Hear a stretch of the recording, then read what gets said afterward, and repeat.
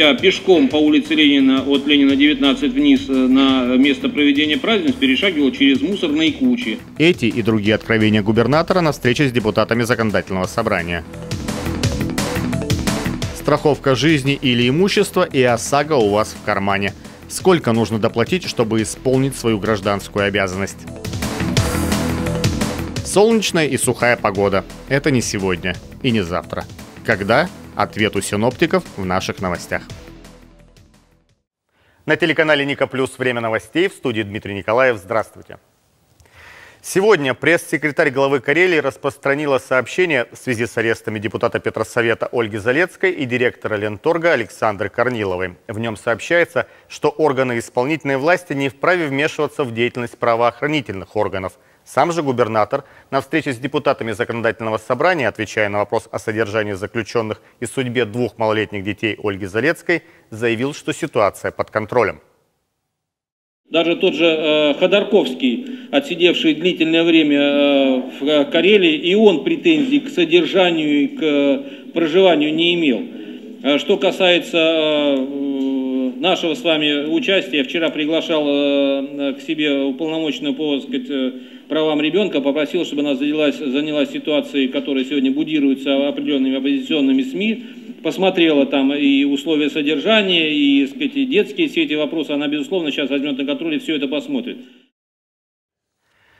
Встреча главы Карелии с депутатами законодательного собрания длилась сегодня более двух часов. И завершилась она, как и полагается, 1 апреля шуткой. На просьбу отпустить главу Карелии на следующую встречу кто-то из парламентариев заметил, до 2017 года не отпустим. Хотя, возможно, депутаты и не шутили.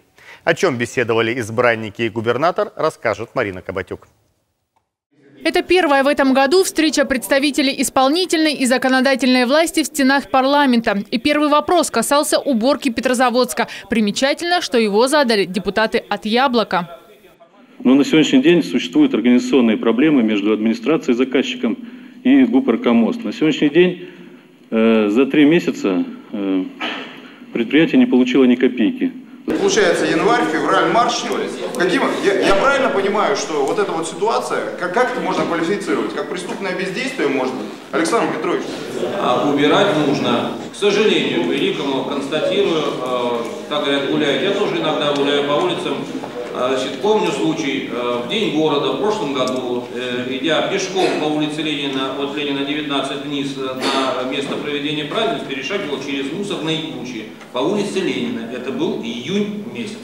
Поэтому давайте сейчас весну переживем, уберут город, мы заставим это сделать. Пригрозив санкциями и воздействием, перешли к проблеме мусора в более глобальном понимании. Министр строительства рассказал о перспективах строительства мусороперерабатывающего завода в Петрозаводске. Депутатов заверили, инвестор уже есть. Это питерская компания ресурсосбережения.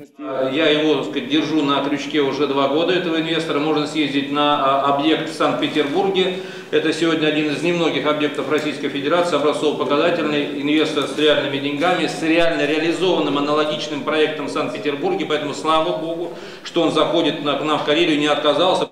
Еще одна проблема – зарплаты бюджетников. Народные избранники рассказали, что в Сигеже работников культуры лишили надбавок, а младший обслуживающий персонал в детских садах сокращают.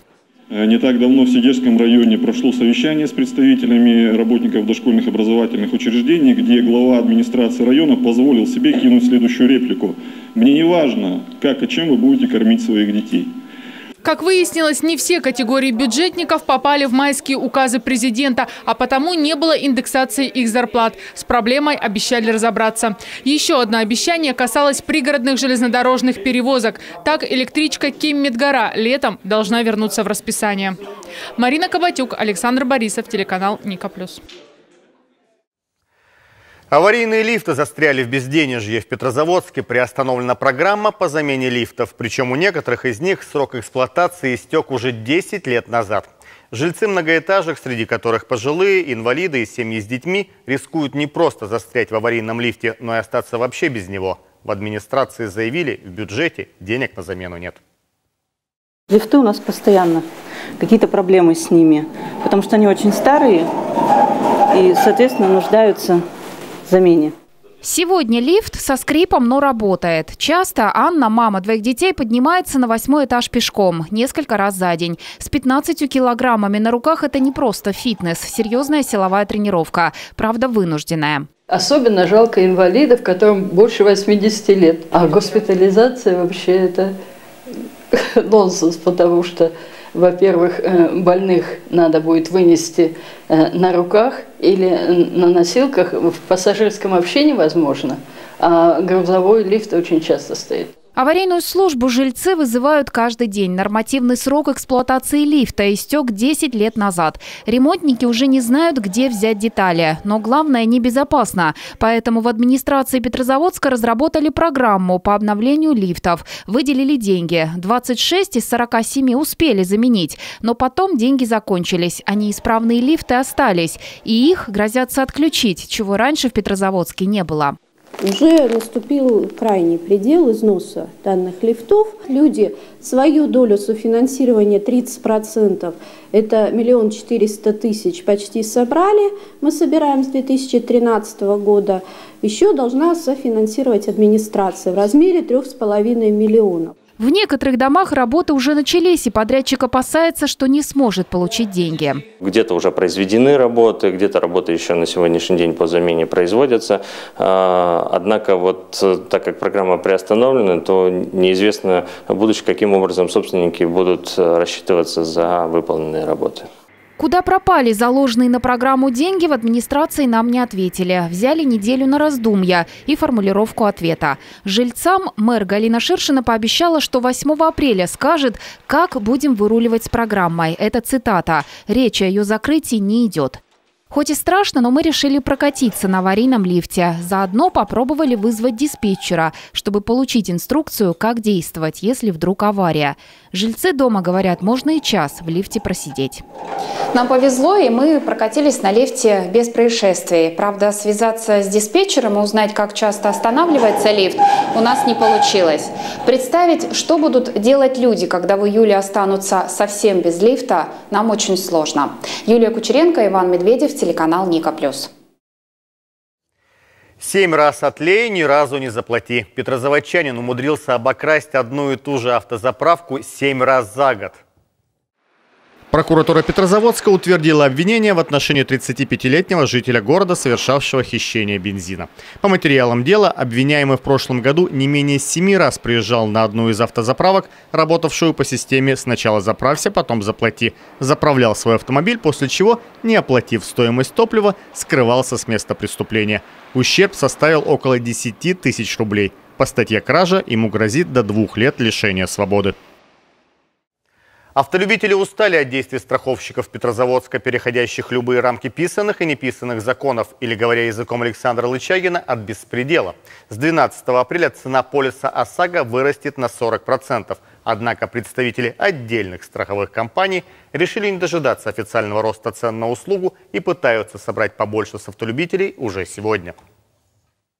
Уже через две недели полис ОСАГО станет дороже на 40%. Вместо привычных 3600 рублей горожанам придется платить за страховку около 6000. Однако страховые компании не стали дожидаться 12 числа. По словам городских автолюбителей, страховщики внезапно перестали выдавать полисы по старым ценам, якобы нет бланков. В итоге в ход пошел целый набор сравнительно честных способов отъема денег у населения. Например, автолюбителю Леониду сразу в нескольких компаниях обещали выдать выдать желанный полис лишь при одном условии, если он приобретет у фирмы что-нибудь еще. Сейчас они отрицают, но до этого они пытались навязать, то есть э, КОСАГО еще плюс страховка жизни или имущество, то есть на выбор. То есть суммы назывались примерно там 1800 рублей. И, Это плюс? Да, плюс к страховке ОСАГО. И тогда договор будет заключен. Вместе с нашим героем мы отправились в одну из страховых фирм, чтобы записать отказ в выдаче полиса на видеокамеру. И будто бы попали на территорию совсем другого государства, где российские законы о СМИ и об информации не действуют. Видео можно выключить.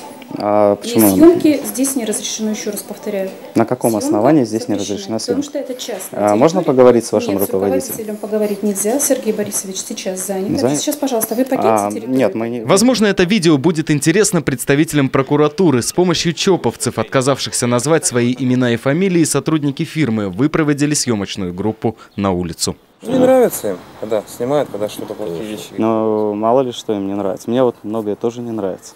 Тем не менее, после появления в офисе телевизионщиков Леониду все же выдали страховой полис на прежних условиях. Бланки, которые закончились, вдруг чудесным образом нашлись. Другим автолюбителям повезло меньше. Социальные сети буквально разрываются от гневных сообщений. Полисы по привычным ценам больше не выдают. В управлении Федеральной антимонопольной службы прокомментировали эту не совсем здоровую ситуацию. Ситуация, конечно, нездоровая, вы правильно назвали. В принципе, могут вот здесь вот усматриваться в действиях страховых компаний нарушение части 1 статьи 10 Федерального закона о защите конкуренции. Это значит э, злоупотребление доминирующим положением. Но, опять же, страховая компания, исходя из, из названия статьи, да, страховая компания должна занимать доминирующее положение на рынке страховых услуг именно вот ОСАГО. То есть вот здесь вот, опять же, с точки зрения привлечения к ответственности, наказывания, да, могут вот возникнуть проблемы. В настоящее время в Корейском УФАС находится на рассмотрении порядка 10 заявлений подобного рода. Вот сейчас специалистами как раз анализ рынка проводится.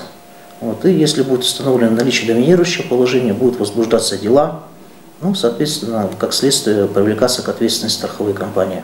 Чтобы зафиксировать отказ в предоставлении услуги, автолюбителям придется заснять весь процесс на видео, к примеру, на камеру мобильного телефона. Снимать в клиентских центрах можно без каких-либо разрешений. Закон о защите прав потребителей пока еще никто не отменял. Вооружившись доказательствами, обращайтесь в управление антимонопольной службы, в Национальный банк или напрямую в суд. Иметь на руках полис ОСАГО обязан каждый, кто находится за рулем. Автолюбители должны выполнять эту обязанность, возложенную на них государством. При этом защищать свои права и сражаться с автостраховщиками они вынуждены самостоятельно. Александр Лычагин, Евгений Евдокимов и Иван Медведев. Телеканал Ника Плюс. Вы смотрите новости телеканала Ника Плюс. Мы продолжаем наш выпуск.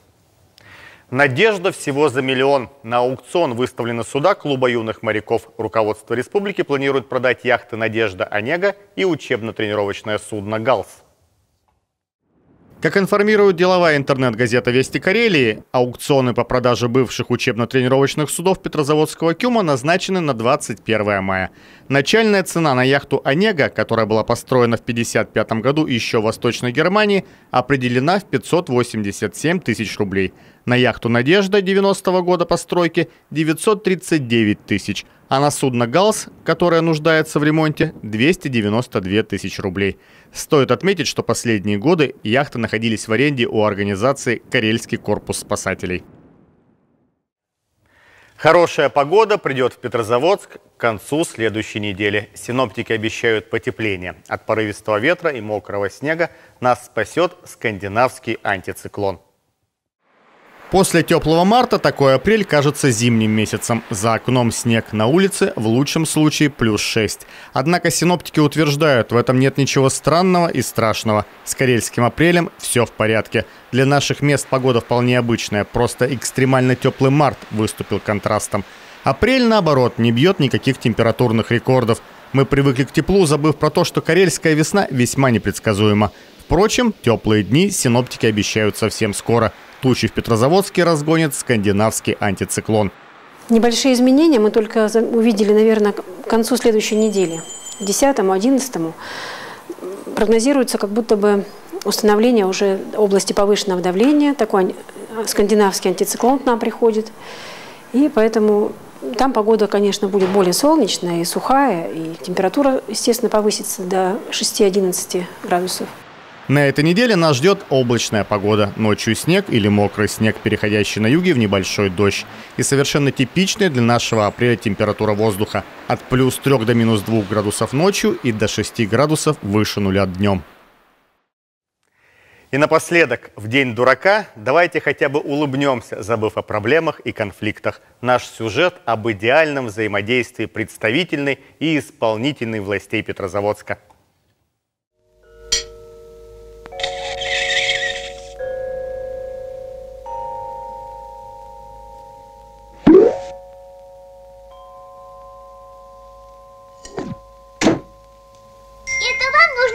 Друзья. Друзья? Мне. Галя. Гена. Быстро дело делается, да не быстро сказка сказывается. Сегодня продолжим рассказывать о том, как преобразить дачный дом. Смотрите программу «Моя дача» сразу после небольшой рекламы.